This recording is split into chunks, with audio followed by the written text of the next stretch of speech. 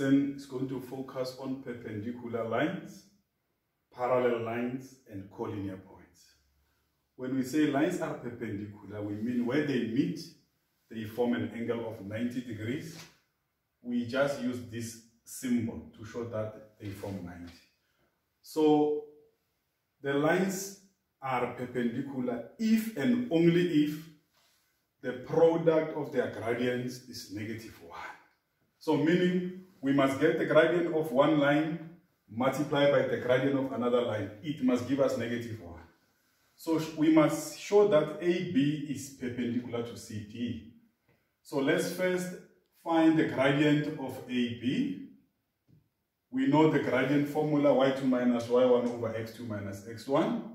So I will have 8 minus 0 over 3 minus 6, which will give me Uh, 8 minus 0 is 8, 3 minus 6 is negative 3. So this is the gradient of AB. From there we get the gradient of CD. The same thing, we'll have 2 minus 5 over negative 1 minus 7, which will give us negative 3 over negative 8, and negative over negative, the answer is positive. So from there we say, let's multiply the two gradient, gradient of AB multiplied by the gradient of CD. So we'll have negative 8 over 3 multiplied by 3 over 8. So the answer is negative 1. So once you multiply the gradient and you get negative 1, therefore you conclude that uh, the two lines AB is perpendicular to CD. The two lines are perpendicular.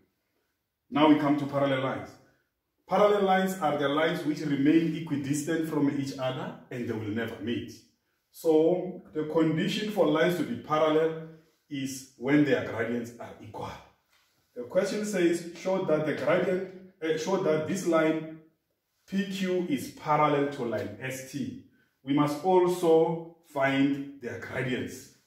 So the gradient of PQ, we know the gradient formula, therefore I will have minus 1 minus 5 all over 4. We subtract the negative 2, it will be positive. And here the answer is negative 6 over 6, which gives us negative 1.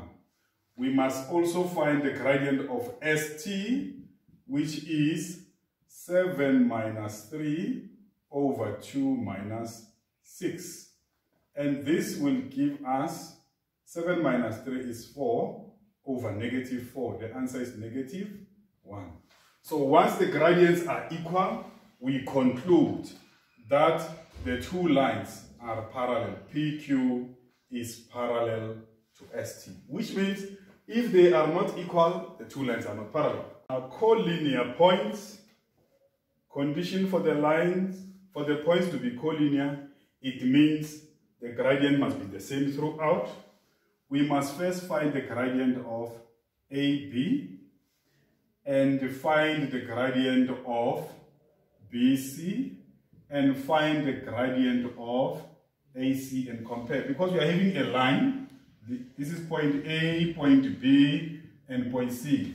So the points are collinear. So we are finding the gradient of AB the gradient of BC and the gradient of the whole line.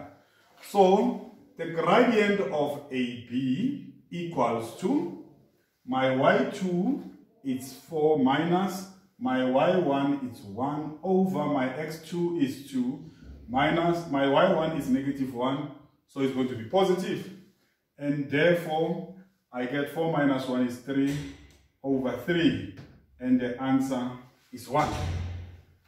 I therefore go to the gradient of BC again. Now BC, my y2 is 6 minus my y1 which is 4 over my x2 is 4 minus my x1 which is 2.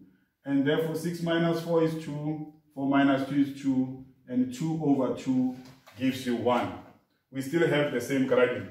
Lastly, the gradient of AC now, My C will be my y2 and x2. So my y2 is 6 minus my y1 is 1 over 4 minus the negative 1 which is going to be positive.